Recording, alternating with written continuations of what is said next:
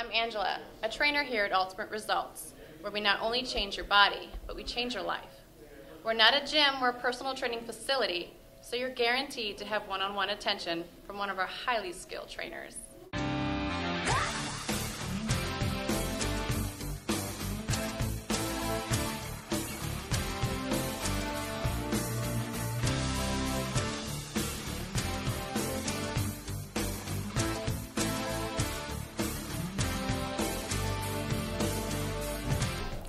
I came here because in June I turned 60 years old and I knew that if I didn't do something about my health, I wouldn't be able to do all those things that I still want to do in my life.